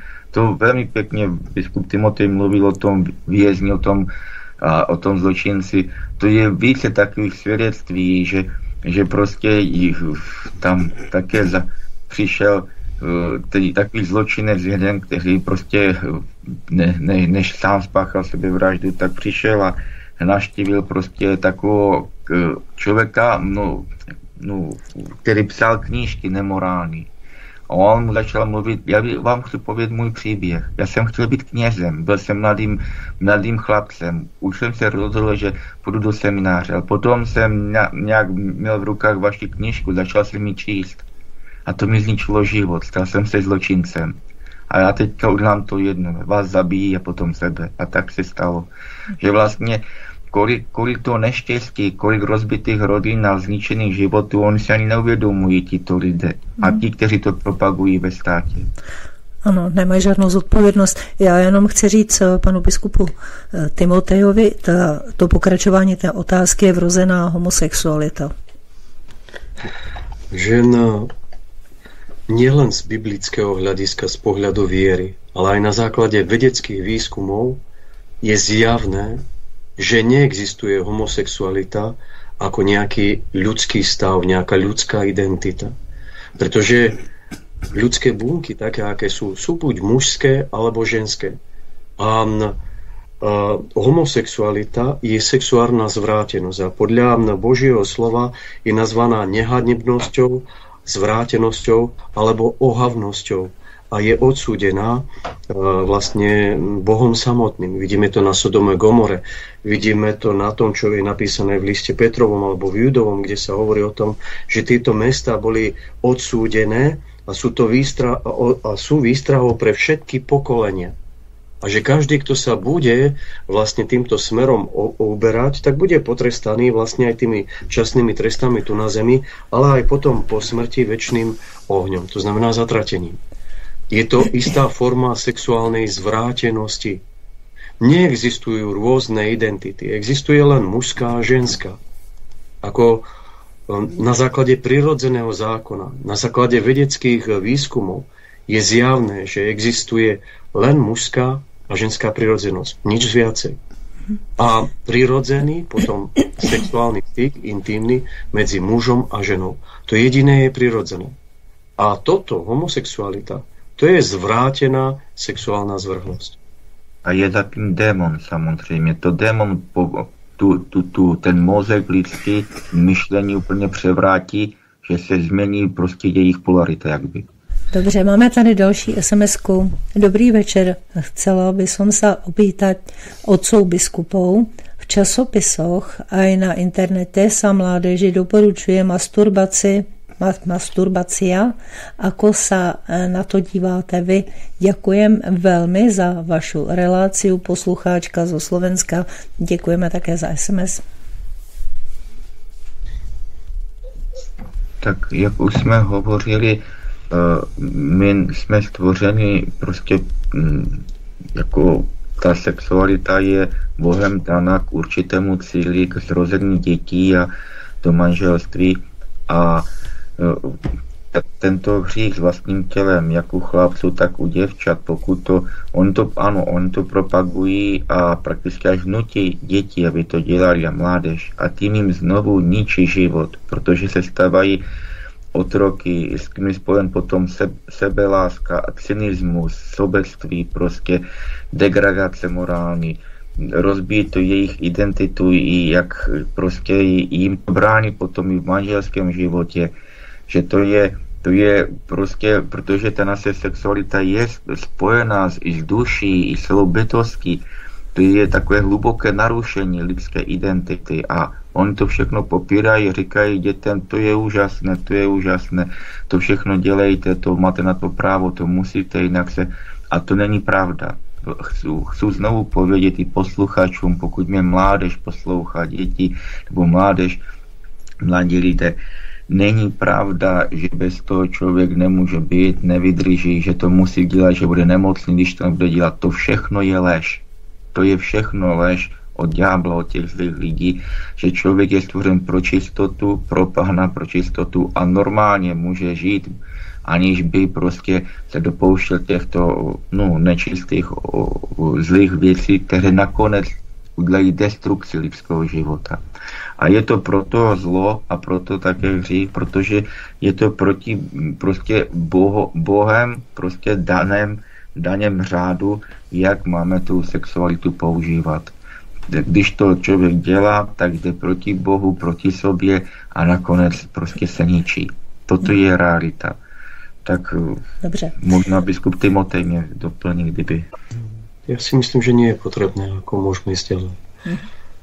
Dobře, já tady mám další sms -ku. Dobrý večer všem ve studiu i pánu biskupům. Mám otázku, proč Bůh chce, aby člověk žil před manželstvím v čistotě? Děkuji, posluchačka z Moravy. Také zdravíme. Hmm. Boh okrem toho, že stvoril človeka na svoj obraz ako muža a ženu ich stvoril, stvoril aj ten ľudský vzťah. To znamená manželstvo ako také, ten vzťah hlboký, ktorý zavezuje muža voči žene a ženu voči mužovi. A je úplne prirodzené, že muž má prijať mm, do manželstva ženu a táto má vstúpiť do ňoho um, pannou. To znamená, že sa mu odovzdá celá konkrétnemu mužovi, tomu, ktorému bude patriť potom celý život. To nie je stredoveký výmysel, to je úplne prirodzené, čo súvisí aj s prirodzeným právom a čo súvisí aj s ľudskou prirodzenosťou. Um, je prakticky aj fyziologicky um, panenský stav je spojený s konkrétnymi vecami. A je to skutočne ako znak toho, že to dievča je neporušené. Že to dievča nebolo odovzdané inému mužovi. Jednak dievča, ktoré sa chráni pred manželstvom, chráni svoje telo, svoju čistotu, ona sa zároveň pripravuje na tú dôležitú, veľmi dôležitú úlohu v manželstve. Byť manželkou, ale byť aj matkou. A mm, práve tá vernosť už pred vstupom do manželstva budúcemu manželovi je neuveriteľne dôležitá.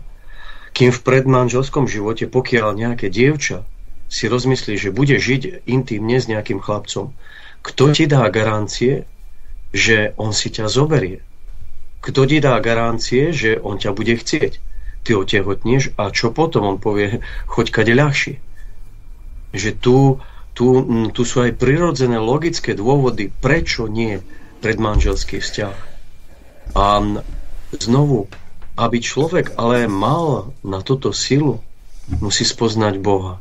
A Boh, On je tou silou sám, ktorý dáva človeku milosť, aby človek vydržal úplne do konca a obstál v tomto zvrátenom a skazenom svete, lebo tento svet je zvrátený a skazený. Počnúc od materských škôlok cez školy, cez uh, mass média, cez internet, cez neviem čo všetko možné. Pretože všade sa pretláča hm, zvrátený postoj voči sexualitě.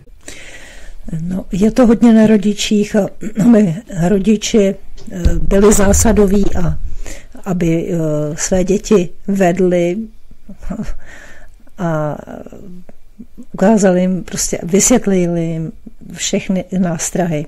Já tady mám další sms -ku. Ještě jednou, je mi 69 let, jak to bylo v mém mládí nádherné, kdy se dívka už jen při pokusu o polibek zarděla, jak byly krásně cudné to chlapa rozohnilo a škemral, kde se vzala v dívkách touha roztahovat se v pornu.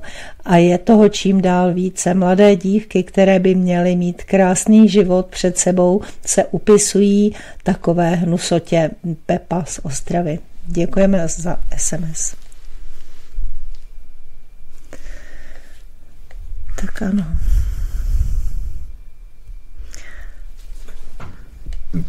si pamatuji tak. jeden takový uh, kazatel, velmi pěkně to i vyjádřil, že pokud děvče mělo více chlapců před manželstvím, tak ona je do toho manželství, jak si on to nazval, zasviněná.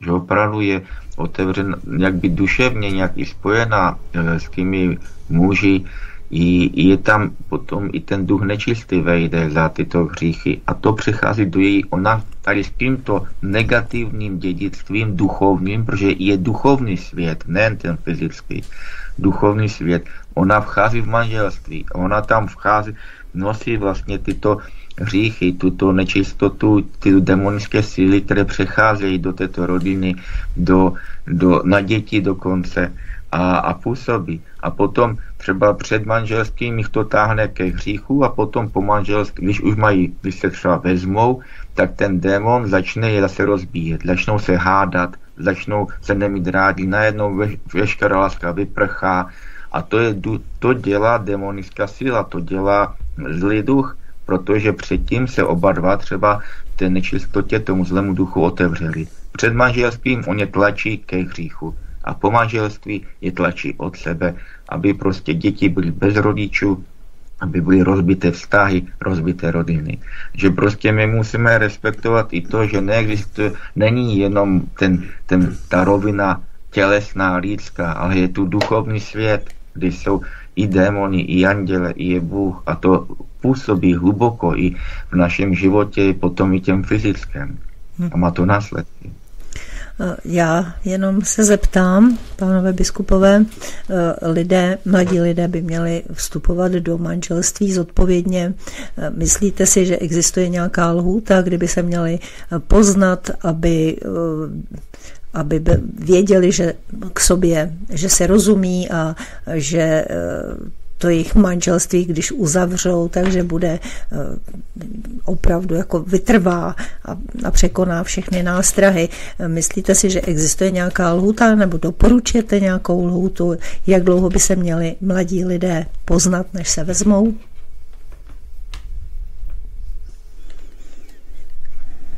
Ano, už no, praxe je třeba taková, že aspoň těch půl roku by se mohl, nebo do půl roku, půl roku, maximum znovu rok, no půl, aby se poznali svůj charakter, ale přitom jak by chození, my jim prostě doporučujeme, že opravdu i aby se snažili neobjímat, nelíbat, protože tu už používají tu sexualitu, která je dané manželům, a ne takže je to takové, jak by museli i tu se učit statečnosti, ale je třeba manželská příprava, každý kněz ji dělá před svatbou, tak, tak ona je prakticky od půl roku až do roku trvá, kdy vysvětluje všechny vlastně podstatu manželství, o co vlastně jde, co třeba nesmí, co může, co musí, jak má potom i, i tu rodinu, jak by vést ten manžel, jak mají žít, vychovat děti.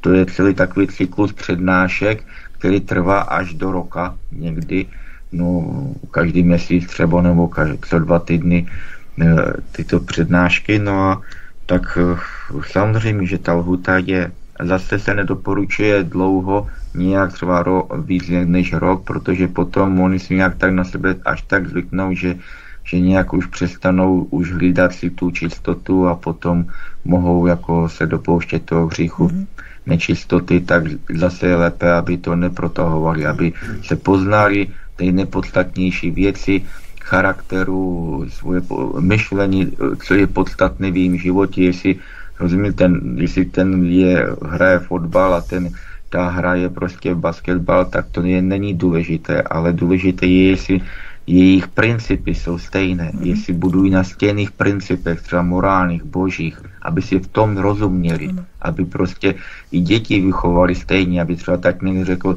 můžeš kouřit, maminka říká, nemůžeš, to je přece zlo, aby oba dva pověděli, toto je zlo pít, toto je zlo třeba dělat, toto je, aby měli jednotu v těch podstatných věcech. Když toto uvidí, že mají, tak prostě se mohou potom vzít a ten kněz vlastně, on jim pomáhá v tom všem si to uvědomit a potom jim, jim dá ten, to manželství. Takže já páchám zlo, protože kouřím. no, Ale eh, zeptat... to ne, ne, ne, já... Ale mám eh, dotaz. Já jsem se nedávno dočetl takovou sociologickou studii, jak teďka hodně vycházejí. Ty sociologové se musí nějak živit taky a byla to, nebyla to sociologem napsaná studie, bylo to sexuologem. Eh, jméno toho sexuologa si nepamatuju, není nějak známý, jo. Ne, jako byl Plzák třeba známý, nebo Zvěřina, tak to nebyly ty. A tam se říká, že dnes skoro 92% manželských párů minimálně jednou za, zaznamenalo nevěru a je jedno z jedné nebo z druhé strany. To znamená, že přes 90% lidí, a mezi nimi já věřím, že i určité procento věřících, se dopouští cizoložství. Je to běžné a normální v dnešní době. Dokonce tam bylo napsáno tím pánem, že dobrý vztah přetrvá a překoná i tuto fyzickou nevěru. Tak jak se na to díváte? Tak eh, možno, že by bolo potrebné aj povedať, že aká veľká je aj rozvodovosť, okrem toho, tej manželskej nevery. Tak je veľká, vlastne, áno. A mali by sme vlastne taký, e, skôr taký širší obraz, ale tu je to skôr o tom, že e, ako sme hovorili, 20. storočie je poznamenané ako neveriteľnými experimentál, experimentál, experimentami s ľudskou sex, sexualitou a doslova odstraňovaním akýchkoľvek morálnych, duchovných princípov a zdravých i ľudských princípov v tejto oblasti sexuality. A prirodzene tie duchovné, morálne princípy, oni sú viazané s vierou v Boha. Ako dnes, dnešná doba, aby som ju spokojne nazval bezbožnou a zvrátenou dobou.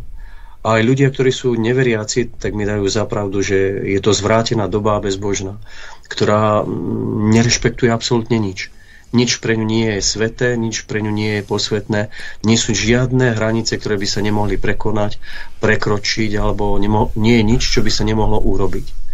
A to je to, čo ničí človeka.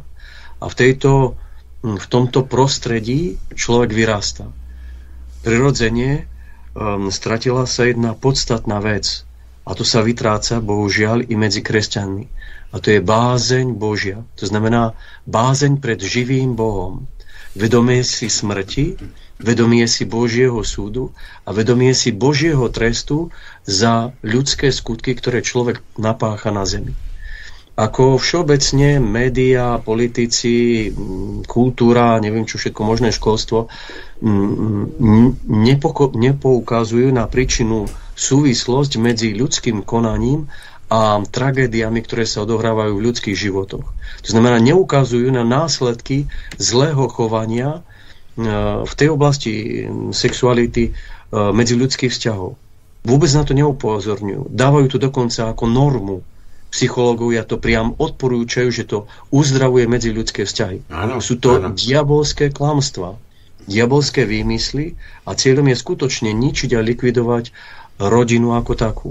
No ešte je jedna veľmi dôležitá vec, že človek má nesmrteľnú dušu. A po smrti sa stretne s Bohom a skutočne bude Boží súd a tam sa bude rozhodovať, či bude človek spasený alebo zatratený. A práve tu, sú niekoľko, tu je niekoľko vecí. Tu je to osobné poznanie Boha a učenie sa takej disciplíne doslova do písmena v tom osobnom živote vo vzťahu k ľuďom, vo vzťahu k vlastnej sexualite, vo vzťahu k telu, že bez tej takej zdravej disciplíny, bez toho takého pravidelného návyku, rytmu, je nemožné, aby človek v dnešnej dobe obstal. Bez bázne Božej, bez, bez tej takej skutočne obetavej lásky, ktorá dokáže ísť až na hranicu, ktorá dokáže ísť až k takému sebaobetovaniu, je nemožné v dnešnej dobe obstať, pretože dnes vám, ako by som povedal, e, sex za dve minúty ako ponúkajú na každom rohu s prepáčením. Ako poviem to už tak nahrubo, že idete a vidíte ľudí, ktorí sa hrabú v smartfónoch a tam je to dostupné každú sekundu, každú milisekundu. Že to sú veci, ktoré sú pretláčané doslova a sáčkované do ľudí. Preto je tu ten stav, ktorý je. To znamená, aj výskyt manželskej nevery, dokonca aj u tých ľudí, ktoré ešte majú nejaké princípy. A je možné, že títo ľudia dokážu žiť aj potom, ako sa dôjde k manželskej nevere, prirodzene je to možné. Keď ten, ktorý spáchal tú manželskú neveru, jednoducho z toho je schopný konať pokánie a bojovať s tým hriechom a už nikdy sa k tomu nevrácať. A potom je to práve tá veľká obetavá láska toho druhého, ktorý bol zradený. Pretože to bola zradená láska. To bol zradený vzťah. To bol zradený život. Pretože keď niekto vstupuje do manželstva, tak sa tomu druhému odovzdáva plnou mierou, celý. So všetkým, čím má a čím je. Je to vzájomné. A manželská nevera je práve zradou akože tohto takého vzájomného odovzdania sa. Je to zradou jednoducho aj porušením dôvery. Prirodzene takéto veci sa potom obnovujú ťažko. No je to možné. Je to možné skrze lásku, ktorá je väčšia ako všetko ostatné. A to je Kristova láska, ktorá sa obetala, obetovala na kríži. A kde aj Kristus zdôrazňuje skrze Apoštola, zmierte sa s Bohom. A to je, ako sa máme zmieriť. To znamená, máme mu vyznať svoje neprávosti, ktorými sú napríklad aj tieto nevery a toto všetko možné. Krásně jste to řekl, pane biskupe. Eh, opravdu je málo lásky mezi lidmi. Dřív děti poslouchaly pohádky a tam o lásce, vždycky tam láska zvítězila nad zlem. A já doufám, že zvítězí, že to zlo nikdy, i když je tak obrovské, tak eh, i každý jedinec v nás nese si tu lásku a je potřeba, aby, aby ji projevil, aby, aby si ji uvědomil, aby, aby poprosil Ježíše Krista a Boha, aby, aby byl s ním a aby se o něj mohl opřít právě tady v té lásce, protože jaký by byl život bez lásky. A protože jsme se dostali na konec pořadu, tak vás poprosím o požehnání pro naše posluchače, kteří určitě na to požehnání čekají a vždycky jim pomůže požehnání. A proto vás poprosím, kdybyste dali požehnání našim posluchačům a všem lidem dobré vůle, všem, kteří lásku potřebují, všem dětem, které strádají, všem kteří jsou v tísni, eh, morální tísni nebo jiné, ale tu lásku, tu vše objímající lásku Boží potřebují. Takže moc prosím. Nepamatuji si, ale myslím, že teď je na řadě biskup Timotej. Taky si myslím. Ano, pane biskupe, dějí. Posledně jsme, jste to žehnal vy, ano. Pane Ježišu Kriste, Ty si umíral na kríži za naše hriechy. Ja ťa prosím za každého jedného človeka, ktorý počul alebo bude počúvať túto reláciu, aby úprimne pred Tebou vyznal, keď padol v tej oblasti čistoty, keď nejakým spôsobom zradil seba samého, zradil svojich blízkych, svoju manželku, manžela, keď zradil svoje deti a dovolil im, aby upadli do nečistoty, keď im nehovoril pravdu, keď im nepovedal o desivých následkoch toho, že sa stanú otrokmi. Ránku Boží, prosím ťa, aby, aby mali úprimnú ľútosť, aby sa zmierili s Tebou, aby v Tebe našli silu bojovať s hriechom a v Tebe boli oslobodení od otroctva. Prosím ťa za deti a za mládež, aby si ich chránil pred tou kultúrou smrti, pred tým satanizmom v dnešnom svete, pred všetkými formami nečistoty, či v školách, či v masmédiách, či na ulici, či v smartfónoch, či na internete. Ježišu, prosím ťa, obzvráž za tie deti a za tú mládež, ktorá bola postihnutá zvrátenou genderovou ideológiou a sú spochybnení o tom, kto vlastne sú. Pane Ježišu Kriste, daj im istotu v tom, že chlapci sú chlapci, dievčatá sú dievčatá, Odožeň od nich všetky démonické síly, ktoré ich súžujú vo vnútri, v ich duši, ktoré im spôsobujú nepríjemné až neznesiteľné duševné a duchovné stavy. Pane Ježišu Kriste, paralizuj akúkoľvek démonickú silu. Prosím ťa, Ježišu, daj spoznať svoju lásku všetkým tým, ktorí ťa úprimne hľadajú a ktorí sa ti otvoria. Ježišu Kriste, daj im spoznať krásu čistoty, cudnosti. Prosím ťa, naplň svojim duchom a svojou mocou tento svet. Túto nedeľu, ktorá je pred nami, budeme sláviť Sviatok Krista Kráľa. Ježišu Kriste, ja ťa prosím, aby Ty si ako kráľ skutočne kráľoval nad nami v našich srdciach a v našich národoch. Tebe aj posvecujem, aj zasvecujem naše národy, naše rodiny, všetkých tých, ktorí sa Ti otvoria, aj tých, ktorí ťa nepoznajú, aby ťa spoznali. Pane Ježišu Kriste, nech Tvoje srdce, božské srdce zvíťazí nad všetkým zlom, nad všetkým tým diabolským plánom svetových elit na redukciu ľudstva, na zničenie rodín. Prosím ťa, aby si zjednotil rodiny, ktoré sa rozpadajú, aby si im dal vzájomnú lásku a odpustenie. Prosím ťa, aby si chránil deti a mládež a nech Tvoja moc teraz uzdravuje, oslobodzuje a chráni.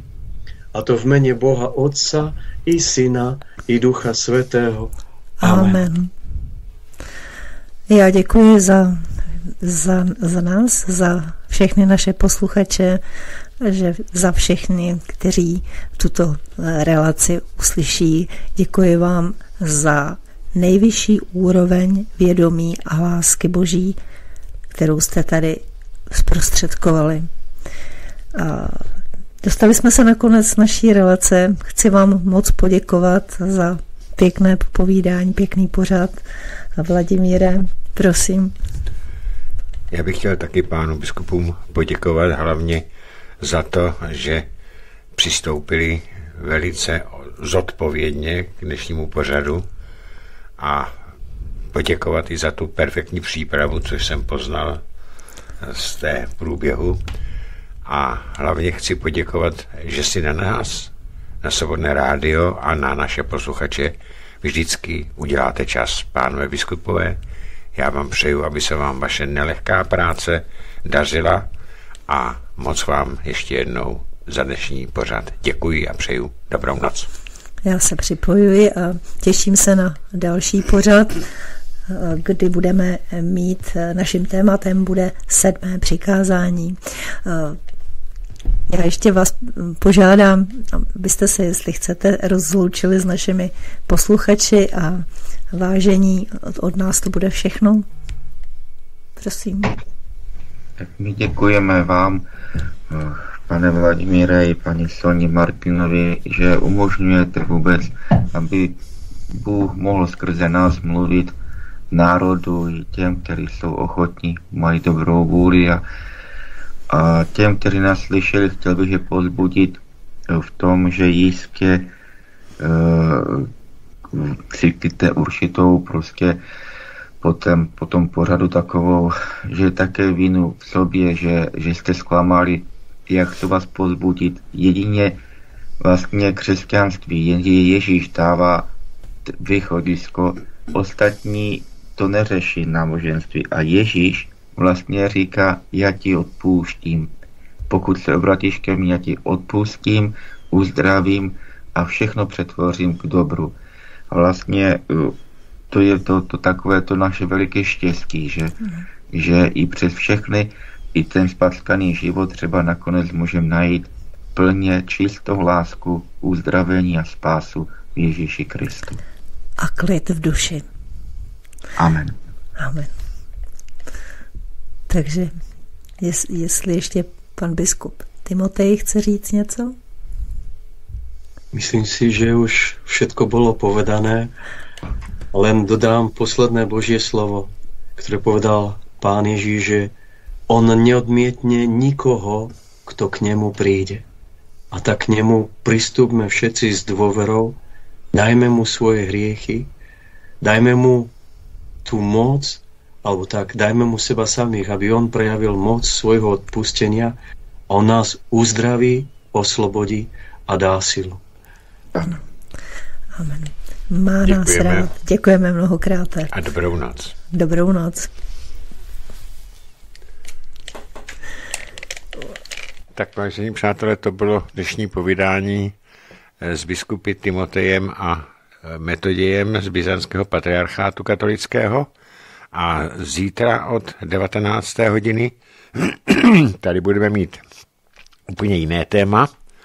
Eh, bude tady ekonom Karel Janko, bude zase sedět na místě, co sedí teď Sonja, a budeme se bavit zaprvé o ekonomické situaci, ale hlavně má připravené téma proč mladí lidé volí tak, jak volí. Já si myslím, že to bude velmi zajímavé povídání s Karlem Jankem. Budu velice rád, když si nás poslechnete. Ode mne to je všechno. Dobrou noc.